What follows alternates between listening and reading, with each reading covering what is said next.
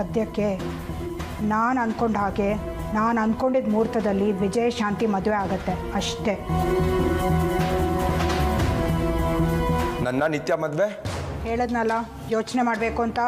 ಯೋಚನೆ ಮಾಡೋದೇನು ಬೇಕಾಗಿಲ್ಲ ಅಮ್ಮ. ನಿನ್ನ ನಿರ್ಧಾರ ಏನು ಅಂತ? ನನಗೆ ಚೆನ್ನಾಗಿ ಅರ್ಥ ಆಗಿದೆ ಮಂತ್ರಿಗಳು ಆಶ್ವಾಸನೆ ಕೊಡೋ ಥರ ಇದೆ ನಿನ್ನ ಮಾತು. ನನ್ನ ಮಾತನ್ನು ಸರಿಯಾಗಿ ಕೇಳಿಸ್ಕೊ. ವಿಜಯಶಾಂತಿ ಮದುವೆನೂ ನಡೆಯಲ್ಲ.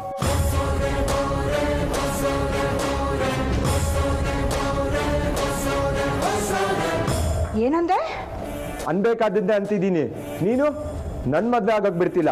ಅದಕ್ಕೆ ನಾನು ನೀನ್ ಮಾಡೋಕೆ ಹೊರಟಿರೋ ಮದ್ವೆನ ಆಗೋಗ್ ಬಿಡಲ್ಲ.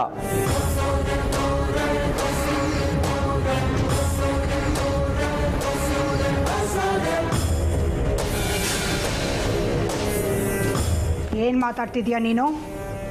ಒಂದು ನಾಲ್ಕು ದಿನ ಪೇಟೆ ನೀರು ಕುಡ್ದು ಮಾತ್ರಕ್ಕೆ? ಅಮ್ಮನಿಗೆ ಎದುರುತ್ತರ ಕೊಡೋಷ್ಟು ಧೈರ್ಯನ ನಿನಗೆ. ನಾನು ನಿನ್ನನ್ನು ಹೆತ್ತವಳು. ಹೆತ್ತವಳು ಮಾತು ಬಿಟ್ಟು ಬೇರೆ ಯೋಚನೆ ಮಾಡಬಾರ್ದು. ಮಾಡ್ತೀನಿ. ತಿರುಗಿ ಬಿದ್ದವರು ಮಕ್ಕಳಾಗಲಿ ಬೇರೆಯವರಾಗಲಿ ಪಾಠ ಹೇಗೆ ಕಲಿಸೋದು ಅಂತ ನನಗೆ ಚೆನ್ನಾಗಿ ಗೊತ್ತು. ಆ ಕಾಲ ಹೋಯ್ತು. ಈ ನಾಗೇಶ್ವರಿನ ಕೆಣಕ್ಬೇಡ ಕೆಣಕ್ತಾ ಇರೋದು ನೀನಮ್ಮ ನೀನು. ಮತ್ತೊಬ್ರ ಆಸೆಗೆ ಬೆಂಕಿ ಇಡೋದೇ ನಿನ್ ಕೆಲ್ಸನಾ? ಅಲ್ಲಿ ಶಾಂತಿ ಕನ್ಸನ್ ಮುರಿದು ಅಣ್ಣನ ಜೊತೆ ಮದುವೆ ಮಾಡಕ್ ಹೊರಟಿದ್ಯಾ? ಇಲ್ಲಿ ನನ್ ಮದುವೆ ಮಾಡಿದೆ, ನನ್ ಕನ್ಸನ್ ಮುರಿತಿದ್ಯಾ? ಒಟ್ನಲ್ಲಿ ಯಾರೋ ಒಬ್ರು ಕಣ್ಣೀರ್ ಹಾಕ್ತಾ ಇದ್ರೆ ನಿನ್ಗೆ ಆನಂದ ಅಲ್ವಾ? ನಿನ್ನಿಂದ ಇಂಥ ಸುಮಾರು ಅನುಭವಿಸ್ ಬಂದು ಈ ಸ್ಥಿತಿಗೆ ನಿಂತಿದ್ದೀನಿ. ನಾಗೇಶ್ವರಿನ ಕೆಣಕ್ ಬೇಡ ಅಂತ ಏನೋ ದೊಡ್ಡದಾಗಿ ಹೇಳ್ತಿದ್ಯಲ್ಲ? ನಾನು ಅದೇ ನಾಗೇಶ್ವರಿ ದೇವಿ ಮಗ. ಕೆಣಕಿದ್ರೆ ಏನಾಗುತ್ತೆ ಅನ್ನೋದನ್ನ ನಾನು ತೋರಿಸ್ತೀನಿ. ಅಂದರೆ ನಾನು ಅವತ್ತೇ ಹೇಳಿದ್ದೆ, ನಿತ್ಯ ನಾನು ಪ್ರೀತಿಸ್ತಾ ಇರೋ ಹುಡುಗಿ. ನೀನು ಒಪ್ಪದೇ ಇದ್ರು ನಾನು ಅವಳನ್ನ ಮದುವೆ ಆಗ್ತೀನಿ ಅಂತ. ನನ್ನ ಮಾತು ಬದಲಾಗೋದಿಲ್ಲ.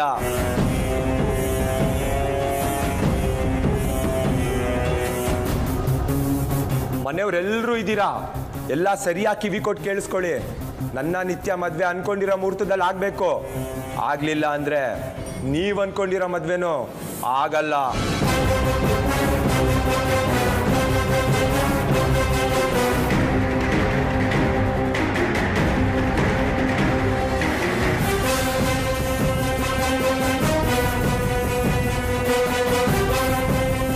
ಅಬ್ಬಾ, ಅಂತೂ ಈ ಮದುವೆ ನಿಲ್ಲೋಕ್ಕೆ ನಾನು ಇನ್ನೇನು ಮಾಡಬೇಕಾಗಿಲ್ಲ.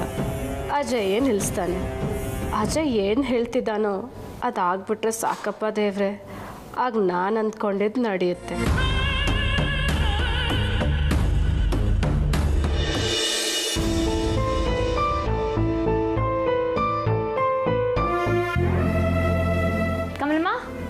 ಏನು ಸಾಂಬಾರು ಮಾಡ್ತಿದ್ಯಾ ಇವತ್ತು? ಕಮಲಮ್ಮ? ಕಮಲಮ್ಮ? ಶಾಂತಿ ಏನಮ್ಮ? ಯಾಕೆ ಇಷ್ಟೊಂದು ಗಾಬರಿ? ಏನೋ ಯೋಚನೆ ಮಾಡ್ತಾರಾಗಿದೆ. ಈ ಮನೇಲಿ ಯಾಕೆ ಹೀಗೆಲ್ಲ ಆಗ್ತಿದೆ ಅನ್ನೋ ಯೋಚನೆ. ಈ ಮನೆಗೆ ಏನು ಆಗದಿರಲಿ ಅನ್ನೋ ಪ್ರಾರ್ಥನೆ. ಇವೆರಡೂ ನಡೀತಿತ್ತಮ್ಮ. ಯಾಕೋ ನಿನ್ನ ಮದುವೆ ನಿರ್ಧಾರ ಆದಾಗ್ಲಿಂದ ಈ ಮನೇಲಿ ಒಂದಲ್ಲ ಒಂದು ತೊಂದರೆ ಆಗ್ತಾನೇ ಇದೆ. ಆಗೋದೆಲ್ಲ ಒಳ್ಳೇದಕ್ಕೆ ಅಲ್ವಾ ಕಮಲಮ್ಮ? ಆದರೆ ಆಗ್ತಿರೋದೆಲ್ಲ ಕೆಟ್ಟದಲ್ವಾ ಶಾಂತಿ? ಮೊದಲೇ ನನಗೆ ನಿನ್ನ ವಿಜಯಪುರ ಮದುವೆನ ಒಪ್ಕೊಳಕ್ಕಾಗ್ತಿಲ್ಲ ಅದನ್ನು ಹೇಗೂ ತಪ್ಸಕ್ಕಾಗಲ್ಲ ಅಂದ್ಕೊಂಡು ಸ್ವೀಕರಿಸಿದ್ರು. ಆಮೇಲೆ ಆಗಿದ್ದು ನೀನು ಊರು ಬಿಟ್ಟೆ ಪಡಬಾರ್ದ ಪಾಡ್ಪಟ್ಟೆ ಬದುಕೇ ಹಾಳಾಗೋಗುವಂಥ ಸಂದರ್ಭನ ಎದುರಿಸ್ದೆ. ಕಮಲಮ್ಮ ಅದನ್ನೆಲ್ಲ ನೀನು ಇನ್ನೂ ತಲೆಯಲ್ಲಿ ಇಟ್ಕೊಂಡಿದ್ಯಾ? ನಾನು ಅವತ್ತೇ ಹೇಳಿಲ್ವಾ? ಅದನ್ನೆಲ್ಲ ತಲೆಯಿಂದ ತೆಗ್ದಾಕು ಅಂತ. ವಿಷಯ ಅದಲ್ಲ ಶಾಂತಿ. ಈ ಮದುವೆ ಸುತ್ತಮುತ್ತ ನಡೀತಿರೋ ವಿಷಯಗಳೆಲ್ಲ ನಾಳೆ ದಿನ ಏನೋ ದೊಡ್ಡ ಅನಾಹುತ ಆಗುತ್ತೆ ಅನ್ನೋದನ್ನ ತೋರಿಸ್ತಾ ಇದೆ. ಇಲ್ಲಾಂದರೆ ಅಜಯ್ ವಿಜಯ್ ಮದುವೆನ ಒಟ್ಟಿಗೆ ಮಾಡ್ತೀನಿ ಅಂತಿದ್ದ ನಿಮ್ಮತ್ತೆ, ಈಗ ನಡೀತಿರೋದು ಒಂದೇ ಮದುವೆ ಅನ್ನೋ ಮಾತು ಯಾಕೆ ಹೇಳಬೇಕಾಗಿತ್ತು? ಪಾಪ ಅಜಯಪುರ್ ಎಷ್ಟು ಬೇಜಾರು ಮಾಡ್ಕೊಂಡಿದ್ದಾರೋ ಏನೋ. ಅತ್ತೇನೂ ಅಷ್ಟೇ ಬೇಜಾರು ಮಾಡ್ಕೊಂಡಿರ್ತಾರಲ್ವ ಕಮಲಮ್ಮ? ಯಾವುದೇ ತಾಯಿ ತನ್ನ ಹೆತ್ತ ಮಗ ತನ್ನ ವಿರುದ್ಧ ಮಾತಾಡ್ತಾನೆ ಅಂದರೆ ಹೇಗೆ ಸಹಿಸ್ಕೋತಾಳೆ ಹೇಳು? ಅಜಯ್ ಏನು ಎದುರು ಮಾತಾಡಿಲ್ಲ ಸುಮ್ಮನೆ ಶಾಂತಿ. ಇಂಥ ಹುಡುಗಿನ ಮದುವೆ ಆಗ್ತೀನಿ ಅಂತ ಹೇಳಿದ್ರು. ಇರೋ ವಿಷಯನ ನೇರವಾಗಿ ಹೇಳಿದ್ರು. ಒಪ್ಪಿಗೆನೂ ಪಡ್ಕೊಂಡಿದ್ರು. ಆದರೆ ಮಾತು ಬದಲಾಯಿಸ್ತಿರೋದು ನಿಮ್ಮತ್ತೆ. ಅತ್ತೆ ಯಾವುದೇ ನಿರ್ಧಾರ ತಗೊಂಡ್ರು ಅದರಿಂದ ಒಳ್ಳೆ ಉದ್ದೇಶನೇ ಇರುತ್ತೆ ಕಮಲಮ್ಮ. ಅದಕ್ಕೆ ಉದಾಹರಣೆ ನಾನಿಲ್ವಾ? ಬೀದಿಲ್ ಬಿದ್ದಿದ್ದ ಮಗು ಇವತ್ತಿನ ಮನೆ ಸೊಸೆ ಆಗ್ತಿಲ್ವಾ? ಈ ವಿಷಯದಲ್ಲಿ ನಾನು ನಿನಗೆ ಏನು ಹೇಳೋಕ್ಕಾಗೋದಿಲ್ಲ ಶಾಂತಿ. ಯಾಕಂದರೆ ನಿನ್ಗೆ ಯಾವತ್ತೂ ಅತ್ತೆ ಪರನೇ. ಅವ್ರು ಕೆಟ್ಟದ್ದು ಮಾಡಿದ್ರು ಅದನ್ನು ಒಳ್ಳೇದೇ ಅಂತೀಯ? ಕಾಯೋ ದೇವ್ರ ಕಡೆಯಿಂದ ಏನೇ ಬಂದರೂ ಅದು ಪ್ರಸಾದನೇ ಅಲ್ವಾ ಕಮಲಮ್ಮ? ಅಜಯ್ ಮಾಮ ಹಾಗೆ ಮಾತಾಡಿದ್ದಕ್ಕೆ ಅತ್ತೆಗೆ ಬೇಜಾರಾಗಿರುತ್ತೆ. ನಾನೊಂದ್ಸತಿ ಹೋಗಿ ಅತ್ತೆಗೆ ಸಮಾಧಾನ ಹೇಳ್ಬಿಟ್ಟು ಬರ್ತೀನಿ. ಶಾಂತಿ ನೀನು ಏನು ಮಾತಾಡೋಕೆ ಹೋಗ್ಬೇಡ ಸುಮ್ಮನೆ ಬಿಡು. ಯಾರಿಗೇ ಆಗಲಿ? ಬೇಜಾರಾದಾಗ ಒಂದು ಸಣ್ಣ ಸಮಾಧಾನ ಹೇಳಿದ್ರೆ ಮನಸ್ಸು ಹಗುರ ಆಗುತ್ತೆ ಕಮಲಮ್ಮ. ನಾನು ಹೋಗಿ ಮಾತಾಡ್ಸ್ಕೊಂಡು ಬರ್ತೀನಿ. ಎಣ್ಣೆಲಿ ಬಾಡ್ತಿರೋ ಜೀವಕ್ಕೆ ಅದನ್ನು ಬಾಡಿಸ್ತಿರೋ ಕೈ ಮೇಲೆ ಕರುಣೆ.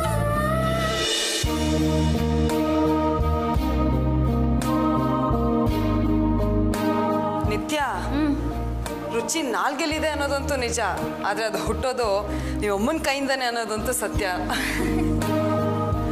ಈ ಥರ ಊಟ ಮಾಡಿ ಎಷ್ಟು ದಿನ ಆಗಿತ್ತು ಗೊತ್ತಾ? ಅಯ್ಯೋ ಸುಮ್ಮನೆ ಯಾಕಮ್ಮ ಉಬ್ಬಿಸ್ತೀಯಾ? ನಾನು ಮಾಡಿದ್ದು ಮಾಮೂಲಿ ಅಡುಗೆ ಅಷ್ಟೇ. ಮಾಮೂಲಿ ಅಡುಗೆನೇ ಈ ಲೆವೆಲ್ ಆದ್ರೆ ಹಿಂಗೆ ವಿಶೇಷವಾದ ಅಡುಗೆ? ಸ್ವರ್ಗ ತೋರಿಸುತ್ತೆ. ನಿನಗೆ ಈ ಅಡುಗೆನೇ ಸ್ವರ್ಗ ತೋರಿಸ್ತಿದೆ ಅಂದರೆ ನಿನ್ನ ಪಿ ಜಿಲಿ ಅಡುಗೆ ಡಬ್ಬ ಥರ ಇರುತ್ತೆ ಅಂತ ಆಯಿತು ಹೌದು ನಿತ್ಯ. ತಿನ್ನೋದ್ರ ಮೇಲೆ ವಿರಕ್ತಿ ಹುಟ್ಟಿಸೋ ಲೆವೆಲಿಗೆ ಅಡುಗೆ ಮಾಡೋ ಬಟ್ಟ ಇದ್ದಾನೆ. ಅವನಿಗೆ ಬಿ ಪಿ ಅಂತೆ ಅದಕ್ಕೆ ನಮಗೆ ಉಪ್ಪು ಹಾಕಲ್ಲ. ಅವನಿಗೆ ಶುಗರ್ ಅಂತೆ ಅದಕ್ಕೆ ನಮಗೆ ಸಕ್ಕರೆ ಹಾಕಲ್ಲ.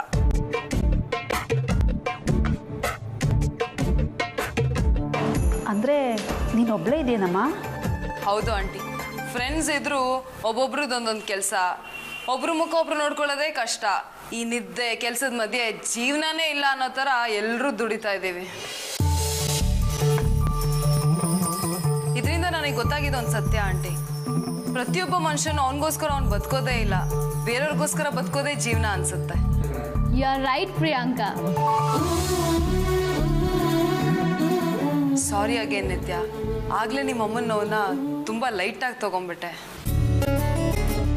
ನನ್ನ ಕಡೆಯಿಂದನೂ ಸಾರಿ ಅಗೇನ್ ಪ್ರಿಯಾಂಕಾ. ಯಾಕೆಂದರೆ ನನ್ನ ಅಮ್ಮನ ನೋವನ್ನು ಸ್ಟ್ರಾಂಗ್ ಆಗಿ ತಗೊಂಡೆ. ಅದರಿಂದ ನನ್ನ ಮಾತು ರೂಢಾಯಿತು. ಪರವಾಗಿಲ್ಲ ಬಿಡು ನಿತ್ಯ. ಆಗಿದ್ದನ್ನ ಕಲಿಬೇಕು ಬರೋದನ್ನ ಸ್ವಾಗತಿಸ್ಬೇಕು. ಸದ್ಯಕ್ಕೆ ನಾನು ಹೊರಡ್ಬೇಕು. ನನ್ನ ಪಿ ಜಿಗೆ ದೊಡ್ಡ ಬೀಗ ಬೀಳುತ್ತೆ ನೋಡು. ಬರ್ತೀನಿ ನಿತ್ಯ. ಸರಿ, ಬರ್ತೀನಿ ಆಂಟಿ. ಅಮ್ಮನ ಅಡುಗೆ ತಿನ್ನೋದಕ್ಕಾದ್ರೂ ಅವಾಗವಾಗ ಮನೆಗೆ ಬರ್ತಾ ಇರೋ. Definitely I won't miss it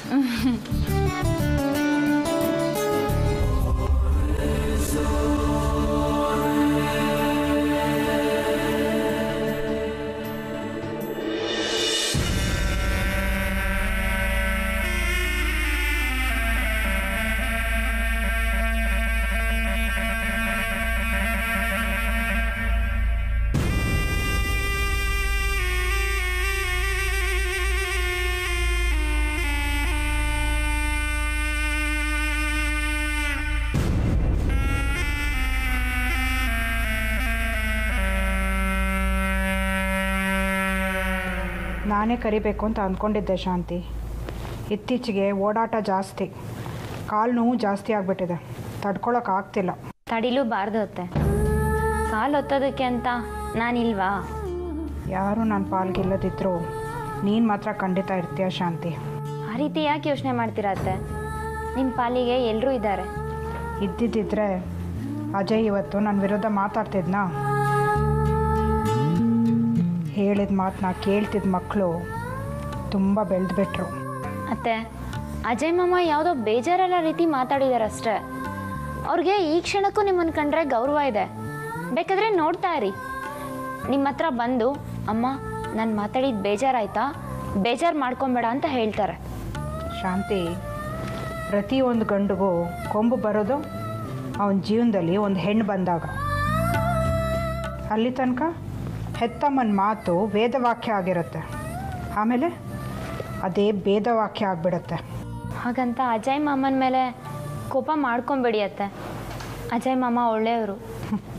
ನಾನು ಒಳ್ಳೆಯವಳೆ. ಆದರೆ ಎದುರಿಸ್ತಿರೋದು ಕೆಟ್ಟ ಪರಿಸ್ಥಿತಿ. ಸರಿ ಹೋಗುತ್ತೆ. ಎಲ್ಲ ಸರಿ ಹೋಗುತ್ತೆ. ನಿನ್ನ ಕೊರಳಿಗೆ ವಿಜಯ್ ತಾಳಿ ಕಟ್ಟಿದ ತಕ್ಷಣ ಎಲ್ಲ ಬದಲಾಗತ್ತೆ ಶಾಂತಿ.